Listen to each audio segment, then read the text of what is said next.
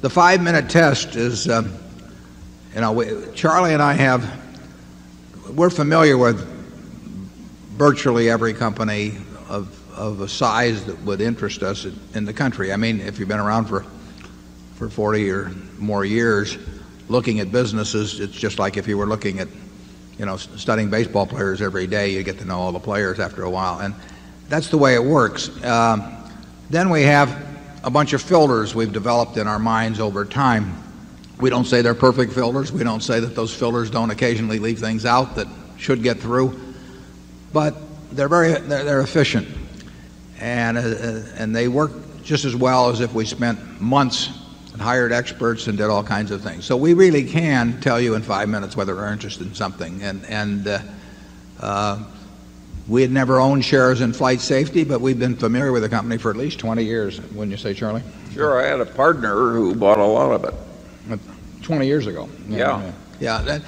But that's true of almost any business. And and we know we've got a fix on what we don't understand and then we don't care to know any more about them particularly, although we'll pick up a little as we go along maybe. But and then the ones that are we're capable of understanding, we've probably gotten about as far as we'll get already. So we we we do we do know in 5 minutes. Now when we do something with FlightSafety, uh, before the purchase and even for somewhat a little after the purchase, I'd never been I'd never set foot on a on a on a piece. They have 40 or so training centers around the world. I never set foot on one of them. Uh, I never been to their headquarters. We never looked at a lease. We never look at title of the properties. I mean, we don't do all of those things. And and I will say this, to date, that's never cost us a penny. What costs us money is when we misassess the fundamental economic characteristics uh, of the business. But that is something we would not learn by what people generally consider due diligence.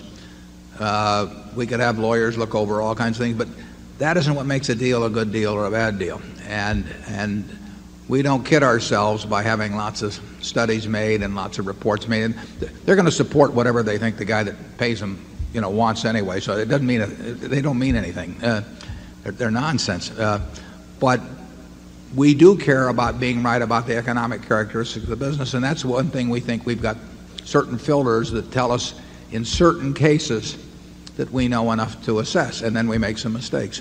Charlie? I've got nothing to add to that except that people underrate the importance of a few simple big ideas. Uh, and I think that to the extent Berkshire Hathaway is a didactic enterprise, uh, teaching the right systems of thought, I think that the chief lessons are that a few big ideas really work. I think these filters of ours have worked pretty well. And because they're so simple. Yeah, I think I think most of the people in this room, if they they just focused on what made a good business or didn't make a good business and thought about it a little while, they could develop a set of fillers that that would let them in 5 minutes figure out pretty well what what made sense or didn't make sense. I mean, there may be some reason after 5 minutes we don't get together on a deal of some sort. But another thing you can usually tell, at least you can tell it in the extreme cases, you can tell whether you've got the kind of manager uh, very quickly that you want to have. I mean, uh, Uh, if you've got somebody who's been batting 400 all their life and and, and, and fortunately age doesn't change that picture in in terms of of, business performance and they love what they do, uh, it's going to work. If the seller cares a lot about the money, um, uh, a very good deal. I mean, that what their if their real interest is going into is what they're going to do with the money, um, they may fall out of love or have less interest in their business subsequently. We we, we, we love working with people who are are just plain nuts about their businesses. And uh, it works very well and you can you can usually spot that. Now having said that, we'll have a few people figuring out how to fake that attitude you know, when they try and sell us some piece of junk here. But uh, Charlie says we, we can we can get conned by some guy with a green eye shade, you know, and a low rent office and all that, but it, it, we won't get taken in by the guy with the suede shoes.